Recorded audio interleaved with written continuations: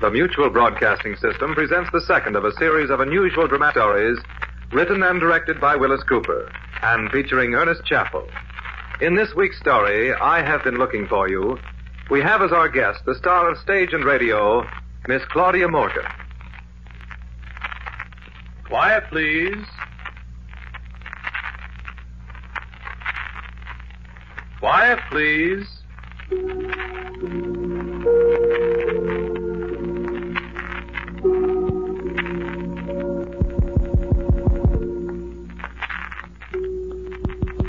The story is entitled I Have Been Looking for You.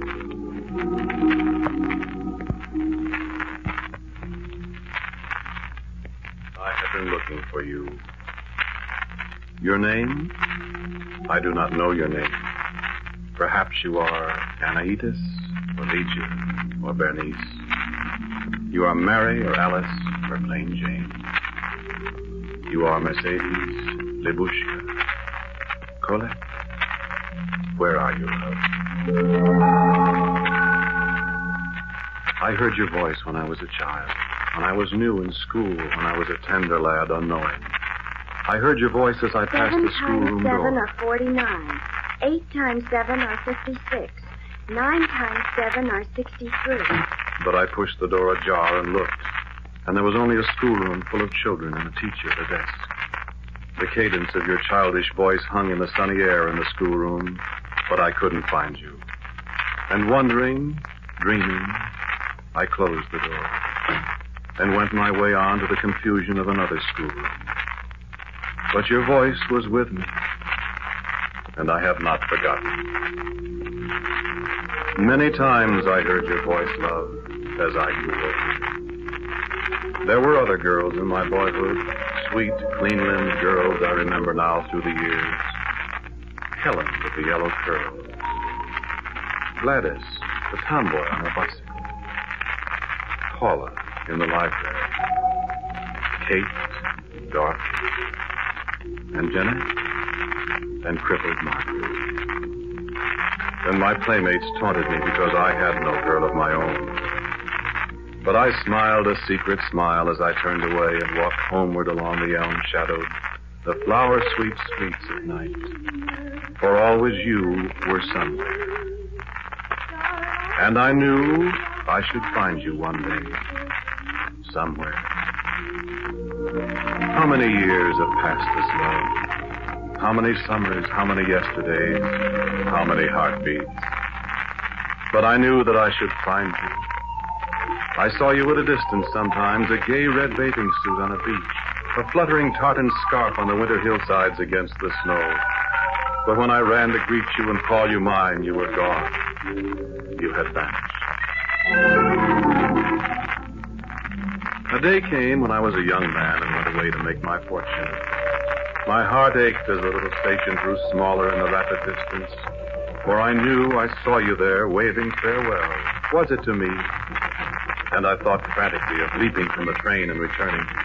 But a cloud of dust swirled up behind the train, and when it was gone, you had vanished. There was another glimpse of you, I thought, as the train roared through another little town, and a gay crowd on the station platform waved and called. And I knew then. I knew that wherever I should go, you would be always. And tears came to my eyes, as I thought perhaps I should never see your face, but always follow you, and never leave. Yes, I was young for love. But I loved you then as I loved you that first day in Seven school. times seven. And as I love you now that I have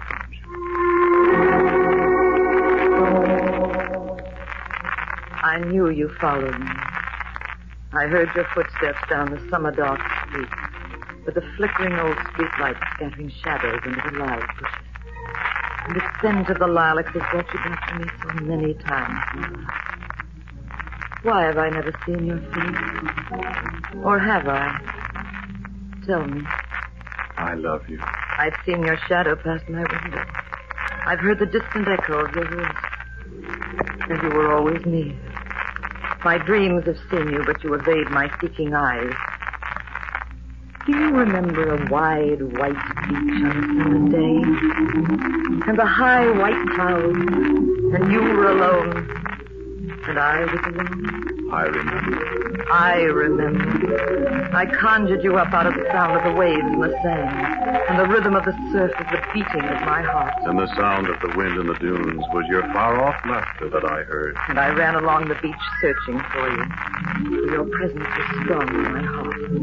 And I cried out. I was heartsick for you. Then I was afraid. I swam far out into the remorseless waves seeking you. I became weary and hopeless for you. The waves fought me, they bore me down. Then I dreamed there were strong arms about me. And I opened my eyes to the sun and breathed again. And the salt on my lips I thought was not the salt of the sea, but the sting of a fading kiss. But you were gone. Then I knew my life was yours. And I was very happy for a little while. And very. Where did you go, love? I dreamed of you in the sea. I dreamed that you were struggling, and I dreamed that I swam out to you and took you in my arms and brought you to the shore, and I kissed you. But there was darkness somewhere, darkness that hid your face from me. And when I awoke, I too felt the salt of your lips on mine. Was I never to see you? Never to hold you in my arms in life? I sought to forget you. You must forgive me that. I thought that my mind was sick, that I dreamed in my waking hours. But which was the dream, and which reality? And how could I escape the vision of you? Always I was haunted, tortured by the thought that you were near me, around the corner, waiting perhaps with a smile of welcome when I should find you. Do you remember? You must. I remember. When did you walk down an avenue in the snow? The lights were golden from the windows that and the bells chimed softly in the twilight. The streets were filled with cheerful people hurrying happily in the white darkness. And I was alone until you hastened past me, a dim shape in the swirling snowflakes. And I followed you until you disappeared in the storm. The cheerful, flat laughter of the people on the street mocked me again. This is foolishness, I thought. There's no one. I am alone. We shall never find each other.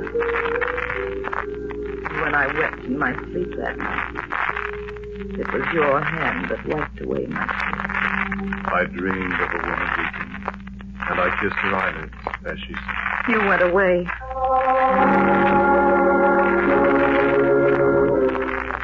We were new to the war that Christmas season, and even as the reluctant bells rang in a new year, I went away. I remember the gloomy, cold station. I remember the unhappy shepherding two dozen motley civilians away from the lights of the city to the drafty cars that were to take us somewhere. There were a few to see us off that New Year's Eve. A policeman who watched us silently as we straggled across the platform. And an old man who offered us his bottle and mumbled of his days at the wars of Siboney and San Juan and the girl he left behind him. And a group of belated commuters turning away from us to study the blackboard with train arrival. And as they closed the doors of the coaches, a fat woman pounding on the window, mouthing frantic goodbyes to a little man who turned away from her. But when our train began to move from the station, a glimpse of a woman standing alone under a dusty electric light on the platform. And then I knew, as I remembered once before, that I could never wholly go away from you, that we belonged to each other, though I might never see your face.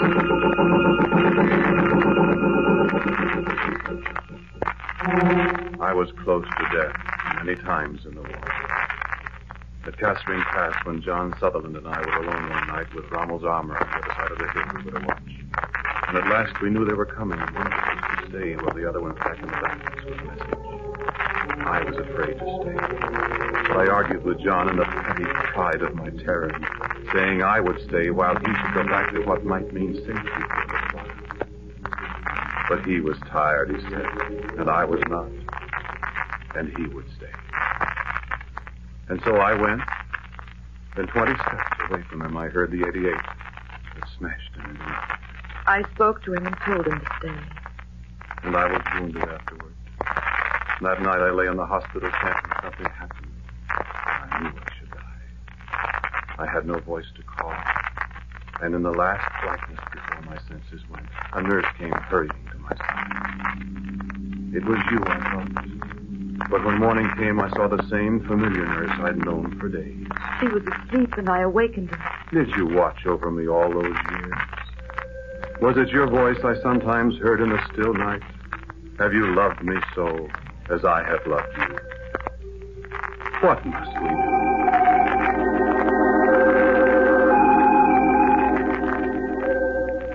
I have been looking for you for so long, but such a time went by. Such a long, weary time since I came home. Where were you, love? There was one moment. I was standing on the deck when our transport came up the bay. I was looking for you. There were hundreds of boats around us, boats with great painted signs welcoming some of us home. And there was none for me.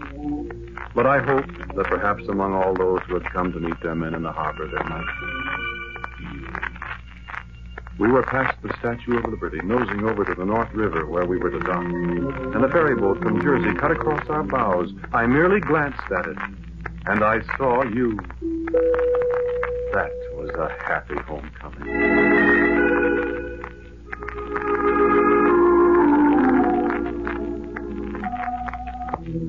But when I came back to New York, when I took off my uniform and went to work again, you were gone. I searched for you. I looked for you everywhere. Where were you? What had happened? Two years went by.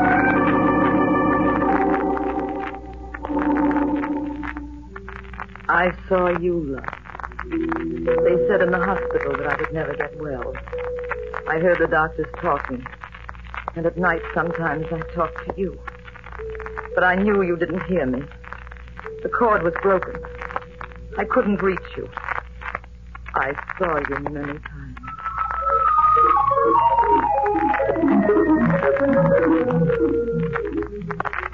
I had buried myself in my work, they said. Whatever the work was, I'd forgotten. I'd forgotten everything except that I loved you. And I tried to forget that. For I was afraid that you were gone from me forever. And I should never see you, never hear your voice again, never know your nearness as I had grown to know. I tried to lose the thought of you among seven millions of people, among the high buildings and in the sounds of the city around me. And I almost succeeded. But then I saw you.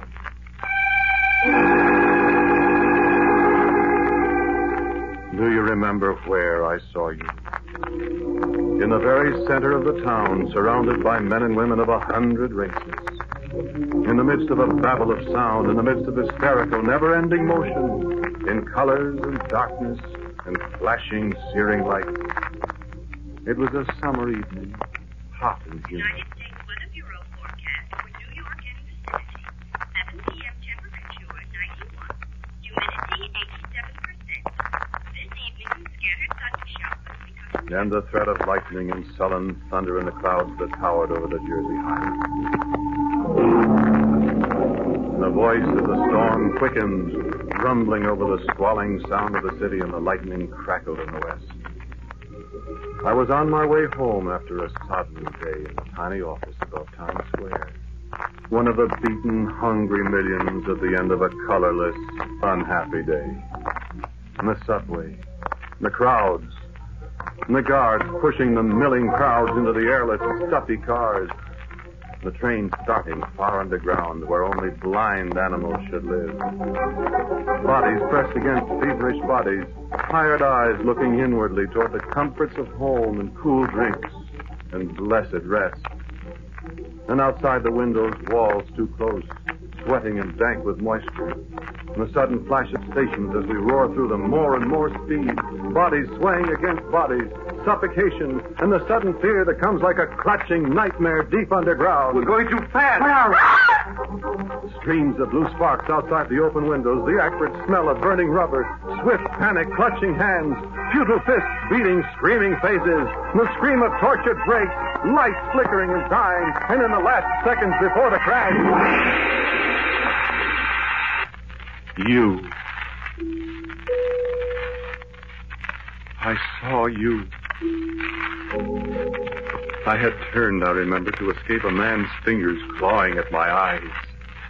I saw you inches away from me, yet a continent away. Blonde hair rippling in the fetid breeze, red lips apart, not in fear, but in rapt excitement, almost smiling. I shouted your name. Did I know your name? And then, darkness. You knew, didn't you? You saved my life, but you Said you turned your head just as the crash came. Yes, huh? I turned my head to look at you. The steel rod just grazed your forehead. If you hadn't turned your head, I looked at you. providential, young man. It was you.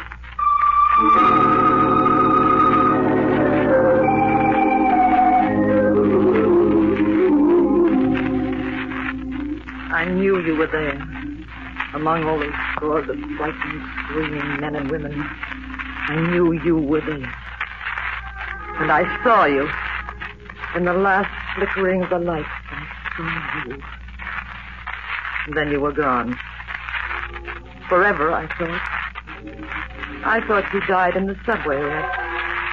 For long months you were dead to me. My mind refused to think of you. I couldn't picture your face again. But now I know I was near you many times. I entered a restaurant as you left it. I left the elevator at the 14th floor one day. I got on at the 15th. I turned to look in a shop window as you passed by. I picked up a book at Brentano's that you just laid down, and I knew I could. And the bus driver gave me change that had come from your purse. And I knew. You sat behind me at a Street concert at Carnegie Hall, and I dreamed that night. The telephone booth at Grand Central. Your perfume still was there.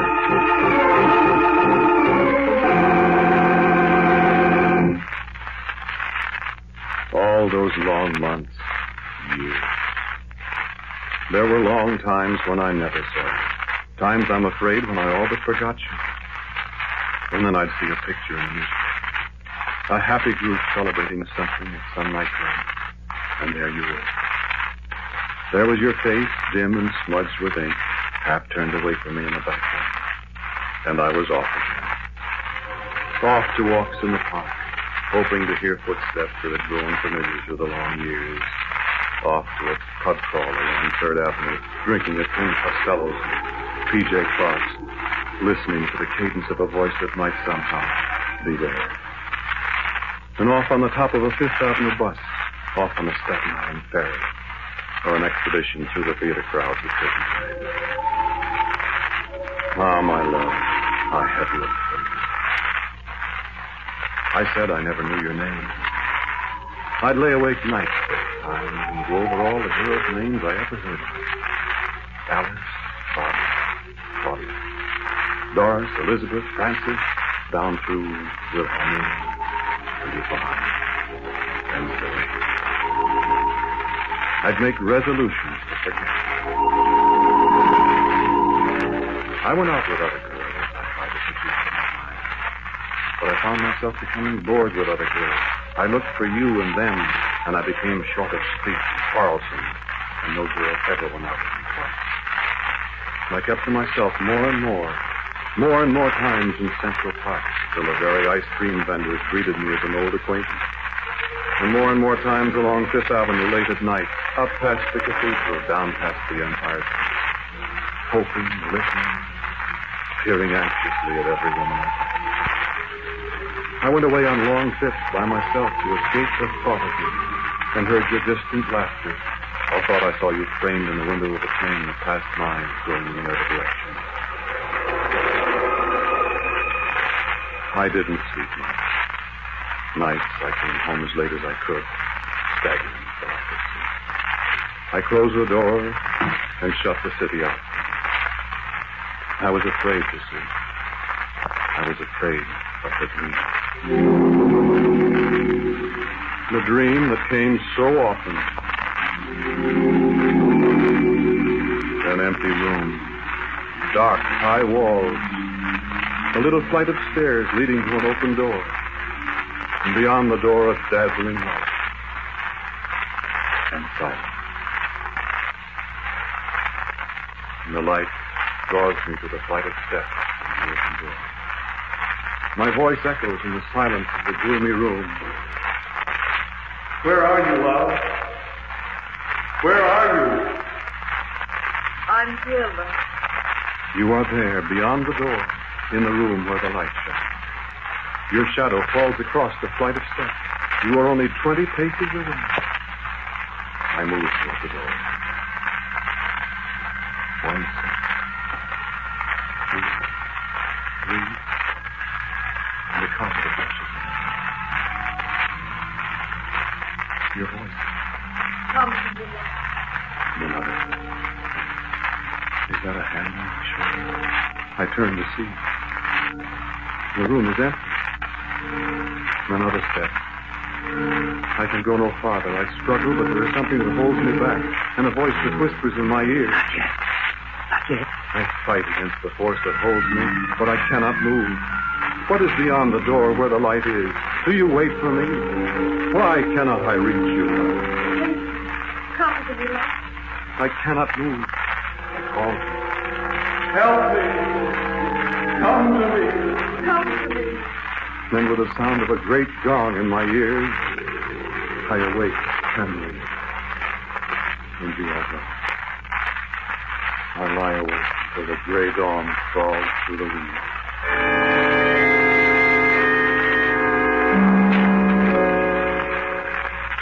The dream came to me last night. A great bright room. The light that dazzles my eyes. And I cannot move. A door that leads to darkness. And footsteps beyond the door in the dark. I'm frightened until I hear your voice. Where are you, love? And I answer. And then I know your footsteps coming to me from the darkness into the light that me. But the footsteps end, and the light burns my eyelids, and the great gong comes. My hand was on the very lintel of the door, and the radiance of the light within struck my eyes and blinded me. And again I awoke, trembling. Did this mean that I was soon to find you? Am I to see? To hold you in my arms? What will I do?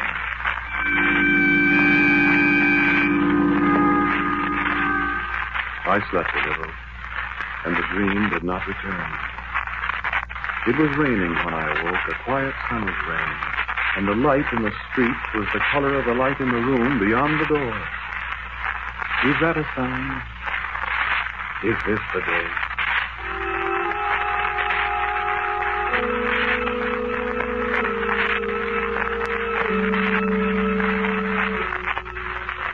I dreamed of a voice that I knew.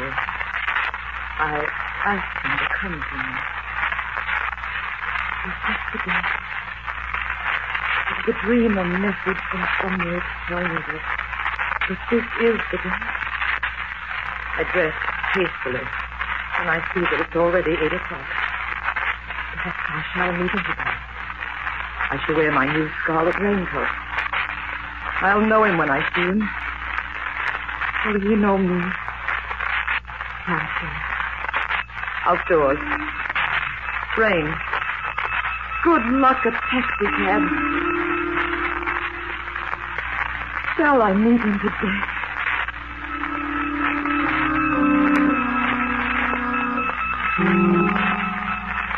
Who says the rain is business? This is the day. I know this is the day.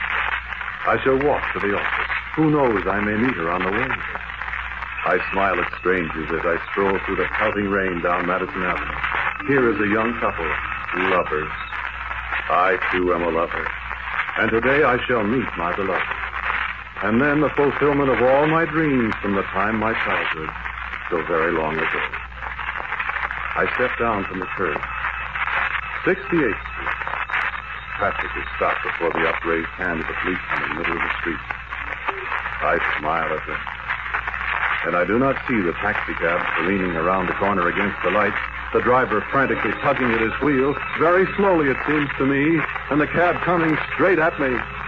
And as I looked up, the cruel wheels half a foot from me, you.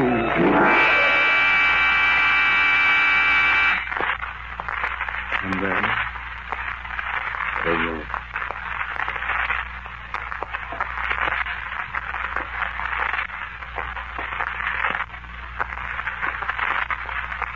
The dark room with the little stairs and the door and the dazzling light beyond. Nothing holds me back now. I go forward to the door and the light welcomes me. I know you are there, love. In a moment we shall meet. We shall kiss. We shall begin our life together. Shall we not?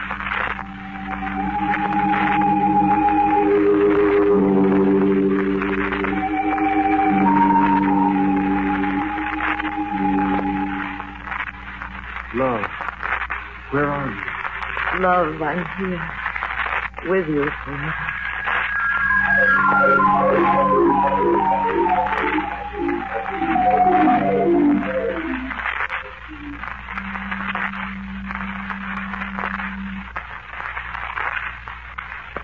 Yes, indeed. Right through here. Now, mind the little stairs. Through the door. Yes, it is bright in here, but you have to be able to see very well in here. This is the one. The man that was killed by the taxi cab. No. There's no identification at all. But this one? This was the woman, the passenger in the cab. She died of a heart attack at the very instant. No. No identification for her either.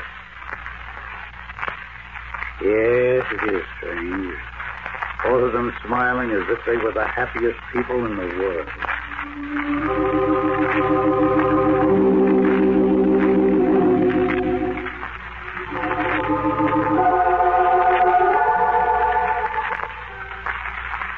Together. Together. You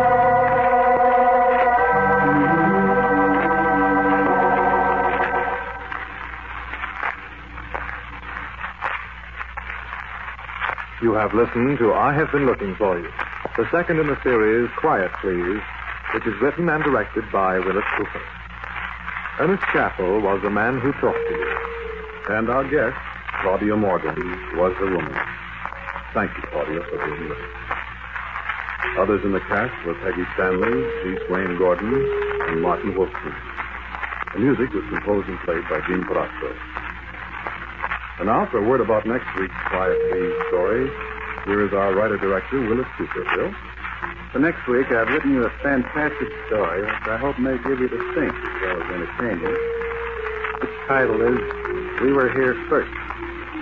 So, until next week at this time, quietly yours, Ernest Chappell.